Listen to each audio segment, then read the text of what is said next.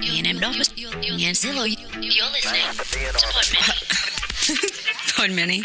You're listening to Podmany.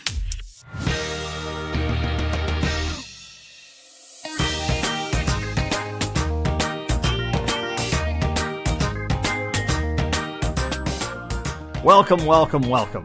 It's time for another episode of Not Your Mother's Goose, with more of the stories of your youth mixed with the cynicism of your crazy Uncle Larry. I'm Topher Goggin. Coming up today, we'll get a good night's sleep with the Princess and the Pea, try not to throw out our backs yanking out the sword and the stone, and fire up Facebook to see what's on Humpty Dumpty's newsfeed. To get things started, though, I do joke after joke about Rapunzel. Those turn out to be really easy to write, but we actually have not delved into her real story yet. It's the number one fairy tale involving a fight over stolen vegetables, and it's time to give it a look. The story of Rapunzel. Listen, I'm not saying that some people overreact or anything, but try this on for size. A husband gets caught by the kooky neighbor gal while he's committing the treasonous crime of stealing her radishes. The lady's response? Threaten to kill the guy and his pregnant wife unless they fork over their new kid when she's born. For radishes? If I ever got tricked into growing radishes and someone else was so kind as to come and steal them, I'd give that person a reward. Regardless, the woman gets the man to agree to this, picks up baby Rapunzel from the birthing ward, and does what any normal person would do in this situation locks her new child in the big, tall, stairless tower in the backyard. Rapunzel spends her days up in the tower doing, well, whatever you do when you're locked in a tower 24 7. Probably the jumble. Each day is highlighted when the crazy gal shows up outside the window and demands admission by speaking the most famous entry request phrase in fairy tale history Little pig, little pig, let me come in. Rapunzel, of course, responds by letting down her exceptionally long hair, which one hopes doesn't refer to the hair on her chinny chin chin, and the wacky lady then climbs up for a visit. One day, a prince comes riding by on horseback. You'll notice there's a lot of princes out roving the countryside in these stories. He hears Rapunzel at the window having a little one-person tower sing-along, probably rapping some Eminem or something like that. He's immediately enchanted by her voice, but lacking access to high-quality pole vaulting equipment, has no way to get up to Rapunzel's window. Instead, he's forced to hide in the bushes with his binoculars until he can figure out how the nutty homeowner woman makes her daily entrance. Once Prince Peeping Tom finally learns the magic words to gain admission, he tricks Rapunzel into dropping her tresses for him instead. They immediately hit it off.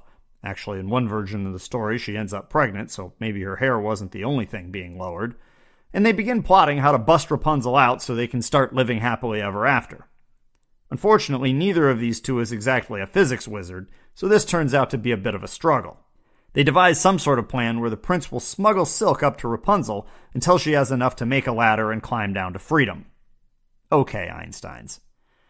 Of course, this plan doesn't come even close to working. The crazy lady catches on to the scheme and responds by chopping off Rapunzel's hair and booting her out to live in the woods. The lady uses the leftover locks to lure the prince up to the now Rapunzelless tower, gives him the bad news that his girlfriend is gone, and throws him back out the window and into a big pile of thorns where he ends up blind. Kind of a crappy day for him. But not all is lost. The prince randomly wanders around in the woods, bumping into trees for a while, until one day he hears a familiar voice busting rhymes and belting out Kanye West lyrics. The lovers are soon reunited. And then, in a convenient bonus, Rapunzel starts crying, and darn if her tears don't just happen to cure blindness. Suddenly, the prince can see again, and he and Rapunzel ride off into the sunset, either to rule his kingdom, or maybe to open up a roadside stand selling radishes. We'll check out the news next. Maybe that roadside stand will be this week's sponsor.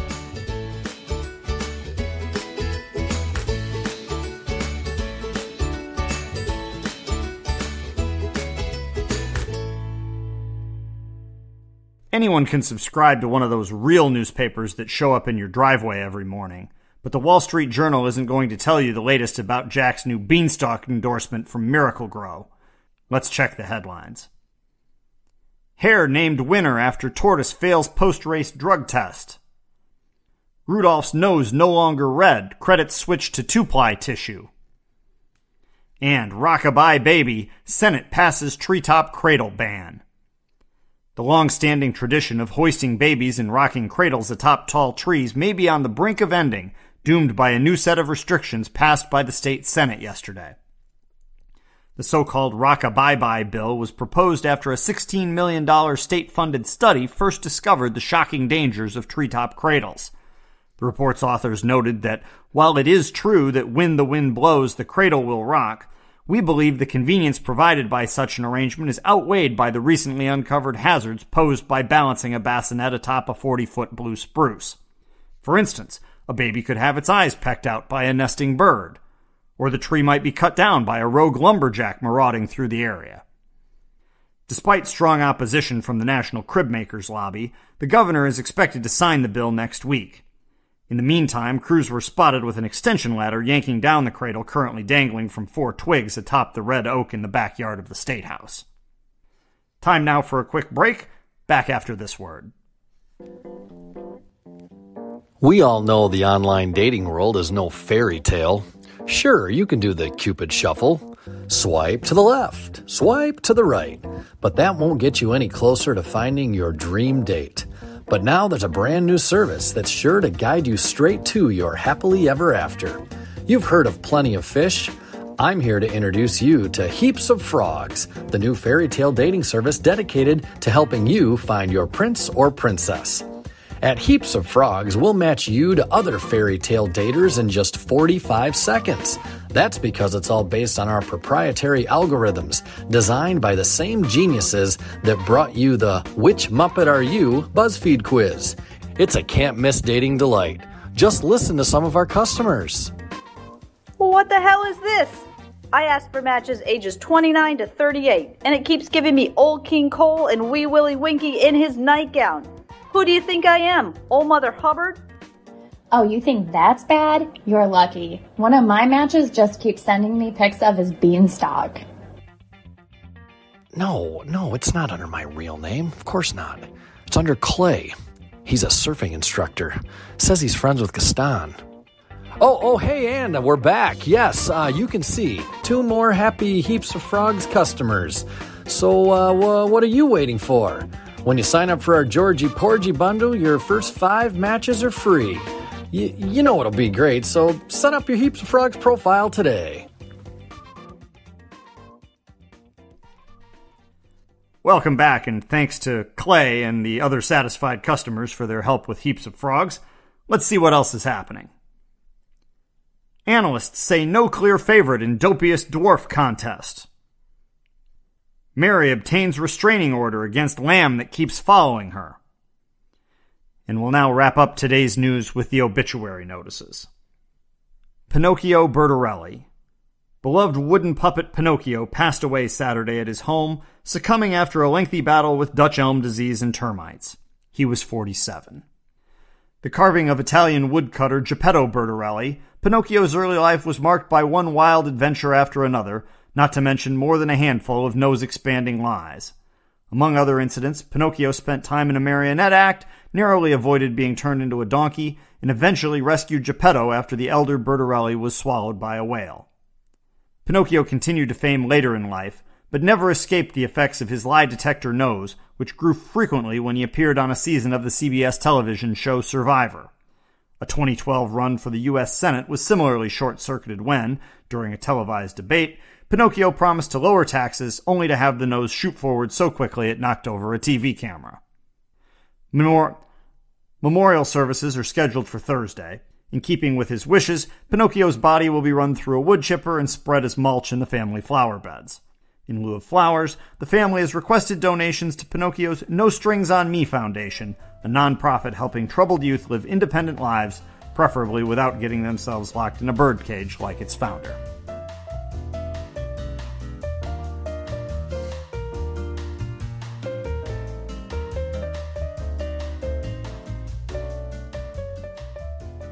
Rumpelstiltskin. We're going to make this into our tower locking episode and try to get all of these things out of the way at once. This is at least a little more productive use of a tower, churning out some gold and all, so hopefully the miller's daughter qualified for some sort of tax exemption. Remember to keep your receipts.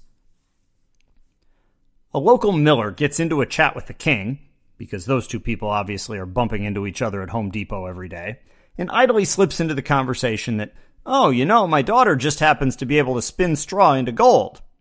Well, that's a useful talent. You might want to get in touch with Simon Cowell on that one. Regardless, the Brainiac King is intrigued. He sends for the girl, locks her in a tower, and tells her that she has three days to spin up some bling or he's going to kill her. So that worked out pretty well from her standpoint. Then, in a stunning plot twist, we learn that the daughter actually cannot make gold out of straw. She is, however, quite good at crying and balls for a good two days, right until a tiny little man suddenly appears in the tower with her. Quite conveniently, this particular little man has a special talent spinning straw into gold. He agrees to spin for her multiple times, but it's not like he works for free.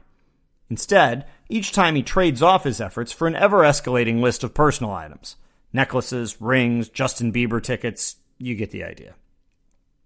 As the little guy churns out loot, the girl sends it along to the king and passes it off as her own. But instead of praising her fine work, His Highness just keeps expanding his demands. One day the girl runs out of things to barter with Sir Spin-A-Lot, leading the gnome dude to say that he'll spin one more time in exchange for her firstborn child. Knowing that she actually had a kid five years earlier who turned out to be a complete holy terror, she immediately agrees. The little fella spins up a final load and the miller's daughter delivers the finished product. The king responds, as you would expect, by immediately marrying her. Nine months later, she delivers their first child. No sooner has the rabbi finished up the kid's circumcision, though, than the mysterious little man reappears to pick up his payment. The new Mrs. King is distraught, but then, in a deft negotiating maneuver that they only teach in the most expensive seminars, Tiny says that he'll let her out of the whole deal if she can guess his name in three days. Okay. The man comes back each of the next two days, allowing the girl to guess as many times as she wants. She fires off every name she can think up, consults www.weirdbabynames.com, and even calls up Gwyneth Paltrow to see if she's had any bright ideas lately. Nothing works. With one day left, the baby is on the verge of immediately becoming the tallest member of his new household. At this point in the story, many folks believe that the queen's neck gets saved when her messenger stumbles onto the little man chanting his name around a campfire. Come on, people, let's be realistic here. In the real world, little elf men that can spin straw into gold don't go around name checking themselves at campfires like they're cutting a record. Truth is, the small fry just goes out to the bar that night, and the royal bouncer is so convinced that his Rumpelstiltskin ID is a fake that he calls the palace and hopes this might be an offense worthy of the dungeon. That's the real story. News of the possible name quickly gets back to the queen. She's skeptical, but it's not like she has any better ideas. When the little man shows up the next day and confirms that he does not go by McLovin, Dweezil, or Carlos Danger, the queen suggests, well, then maybe your name is Rumpelstiltskin. Somehow, the royal name police confirm that Queenie is correct, and her baby is forever saved from a life with a father that has an endless supply of gold. Because that sure would have sucked. Shorty, on the other hand, is not pleased by this unexpected development. Depending on the version of the story, he either A. stomps his foot into the ground so hard it gets stuck, B. physically tears himself in half, or C. runs off never to be seen again, but later is rumored to have joined a carnival running the I'll guess your name or you win a free stuffed animal.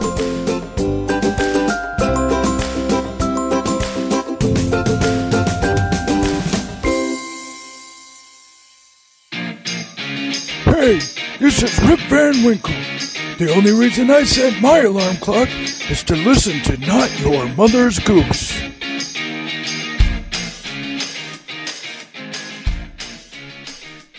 The Princess and the Pea. First of all, just full disclosure here I am not a big fan of peas. If they don't have at least a half a gallon of ranch veggie dip on them, it ain't happening for me. So, as far as I'm concerned, I'm fully in favor of stuffing peas under mattresses. That sounds like a good place for them to me. And it actually runs in our family. As a kid, my dad got busted hiding his peas underneath the couch so he wouldn't have to eat them. So, this fairy tale ranks very highly on our list. Let's check it out. A prince is on the prowl for a bride, but seems to be having a problem finding himself a real princess. Must have been a barrage of fraudulent royalty going around these parts at the time which I've discovered can also be a barrage of flatulent royalty if you're a poor typist. One particular night, a monstrous rainstorm hits.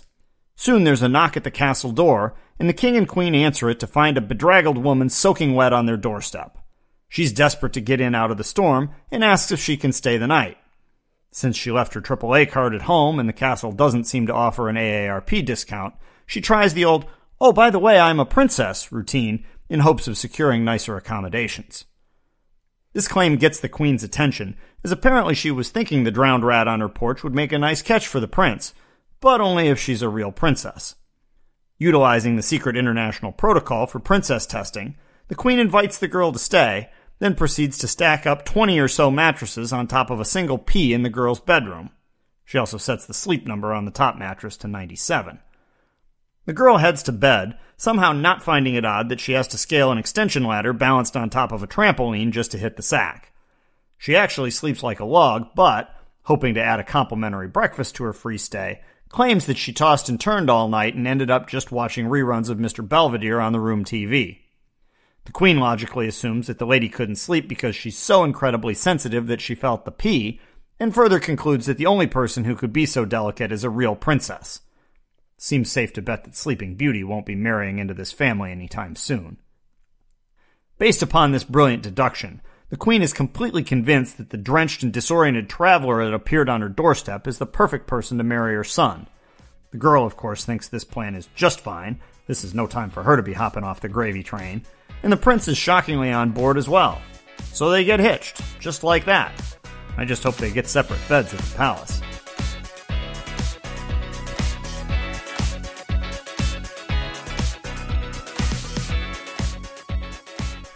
All right, something a little different to wrap things up this week. You know, if you really want to know what's going on in the lives of these characters, social media is obviously the place to go. I pulled some strings and got Humpty Dumpty to give us a look at his Facebook news feed, so let's do a little scrolling and see what we can learn. So, if we start out here, we've got a post from Lord Godiva. He says, Anybody seen my wife? Haven't seen her tonight, and the horse is gone. And there's a couple replies to this. Henry Johnson says, Uh, dude. You have no idea, lol. And Dwayne McClintock says, Your wife is hot. Okay. Frosty the Snowman has posted here. He says, Not to start any arguments, but I'm starting to get a little worried about global warming. Oh, Farmville. Farmville making an appearance. Jack Spencer with the post and says Jack could really use some help fertilizing his beanstalk in Farmville. And you got a click here, or a spot you can click here to get some magic beans if you'd like. Cinderella is, oh, okay. Cinderella's looking for recommendations. Let's see what she says. She says, This is rather ironic, but anyone have suggestions if you cut your foot on broken glass? No replies on that one yet. Got a post here from Judy, the farmer's wife, Thompson. She says, Enough of these stupid blind mice. And she's checking in from Carl's carving knives, so I can see where that's headed. We've got your classic Facebook food photo here. Looks like the third little piggy has posted this one, and it appears to be a roast beef sandwich. And then a comment from piggy number four who says, I didn't get any. Oh, new friends being made here. Peter Peter Pumpkin Eater and John Jacob Jingleheimer Schmidt are now friends. And let's see. Next up, it's a post from Pinocchio. Looks like he's at school. He says, I'm in woodshop class, and the teacher just said we're out of lumber. Everyone is looking at me. This is definitely not good. Georgie Porgy also weighing in just says, Georgie Porgy has mono. Peter Piper replies, Gee, wonder how that happened. We've got a check in from the hare. He says, Race time, punks, kicking ass and taking naps with the tortoise. And Rip Van Winkle likes this one. Post from someone, I'm not sure who this is, Steve Shepard. And Steve Shepard just posts, Wolf!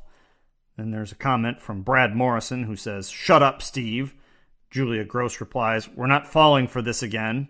Julia then another comment, What is this, like four times now? Steve then says, No, I mean it this time. I need your help.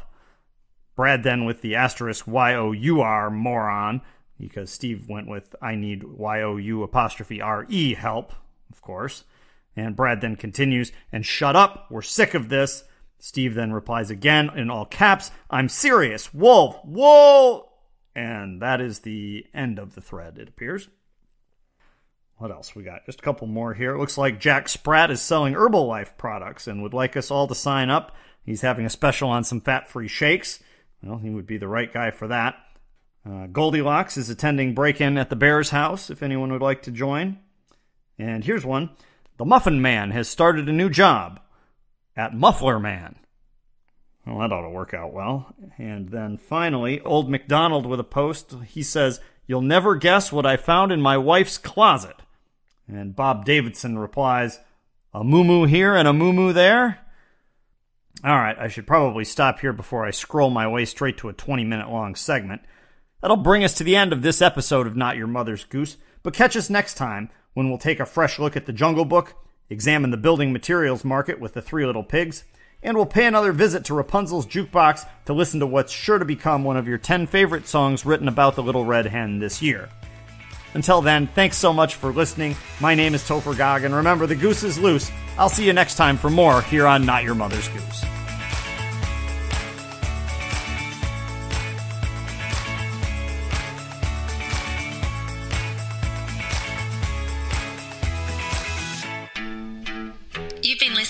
Podmany original production.